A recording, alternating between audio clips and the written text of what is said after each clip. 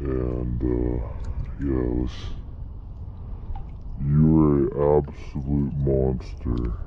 Alright?